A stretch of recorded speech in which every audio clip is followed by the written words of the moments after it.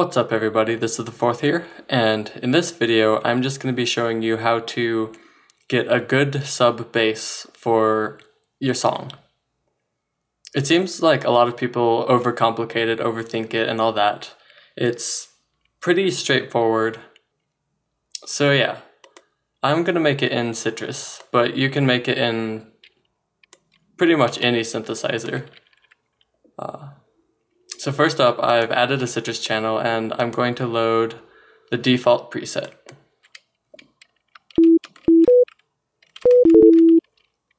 Alright, so you have the sine wave, which is, there are a few different subs that I'm going to show you how to make, and the first one is just a sine wave. So basically, all you really have to do is put the pitch of this down. So on the main panel, I'm going to drag the pitch slider all the way down. And in operator 1, I'm going to change the frequency ratio to 1. And I'm going to go ahead and you don't have to do this, but it takes away some of the click when you um, first play the bass. I'm turning on the volume envelope of operator 1. And I'm just going to take the attack all the way over here, put the sustain all the way up, and delete the release.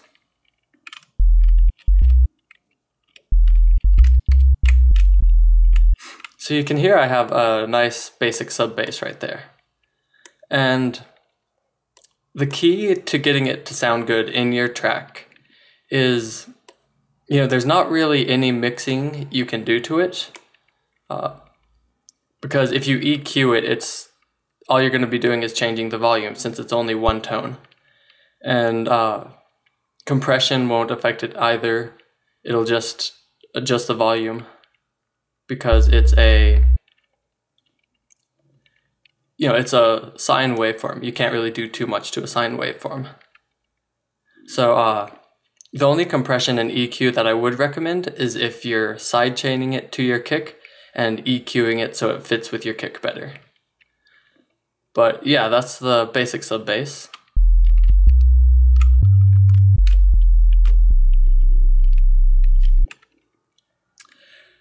And that goes for distortion as well. Because um, some sounds you might want to put a little distortion on, a little saturation, and it won't change the volume of the root tone. Because uh, a sine wave is as loud as it can get.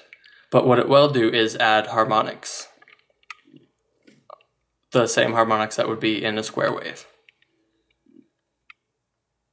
So, um, this is a very simple, fat sub bass. And if you want to make it a little bit more hard, like this one would be great for a trap or whatever. But if you want to make it a little bit more hard, you can add harmonics. And there are a few different ways, but my favorite way is to just go into the oscillator tab and uh, basically draw them in. So this is the first harmonic.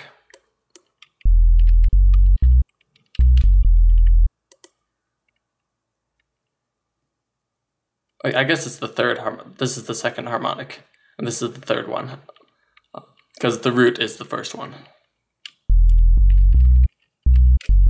And you can hear it's getting uh, kind of a harder sound with the extra harmonics.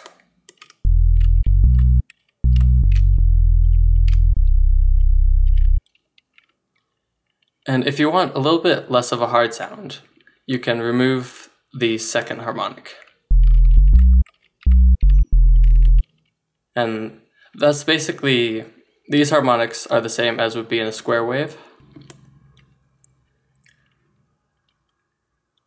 Another way of changing the harmonics is to change the waveform.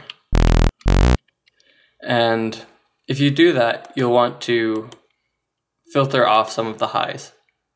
So I'm just going to do that with a parametric equalizer. You can do it in Sytrus itself, but uh, it's a little bit more complex. You have to deal with all the routing, and I'm going to try to avoid that. So I'm just going to drag it down here.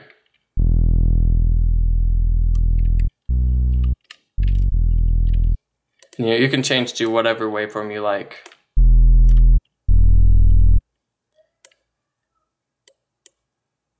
But yeah. Okay.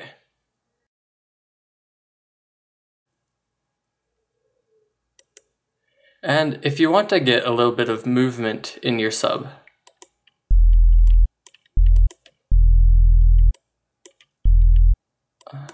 I'm just going to do it with uh, a sine wave for now. So if you want a little bit of movement, which can be a really good effect, you can just turn on the unison, which adds more voices with a little bit of detune. And I recommend you turn the pan maybe not all the way down. You could do it all the way down, but you know, just turn it very far down so that the bass still sits in the middle of your mix instead of kind of out to either side. Because that, that just helps you get a powerful bass is if it's sitting in the middle rather than panned. So I'm gonna make, um, let's say five voices.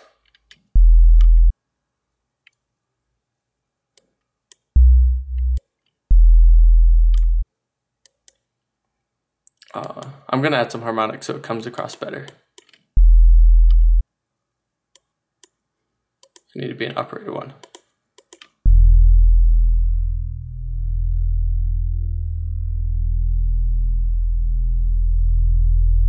So you can hear that movement now. And if you change the pitch, the movement will change with it.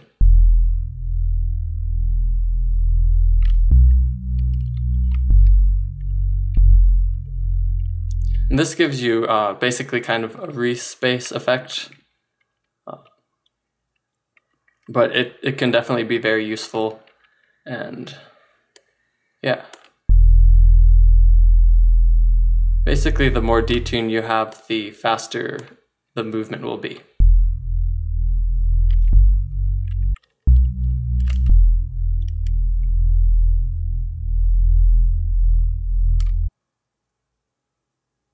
Okay. Now this sub bass, uh, compression, EQ, and distortion can all be pretty helpful in helping it sound bigger and fatter and all that. Because if you look at the volume meter, the decibel meter, you can see that it does change in volume as opposed to just the uh, basic sine wave.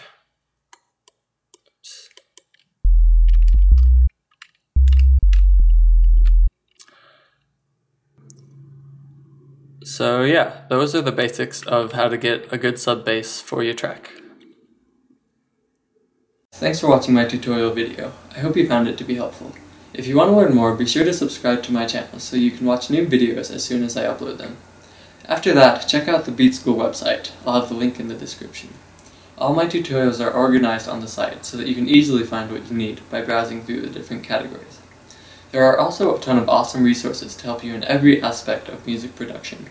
And if you want to help support me, you can buy any of my sample packs, preset packs, or project files for only $5 or less. This gets you some great sounds for a great price and allows me to spend more time making these tutorials and working on the website. Thanks again for watching my video and have a great day.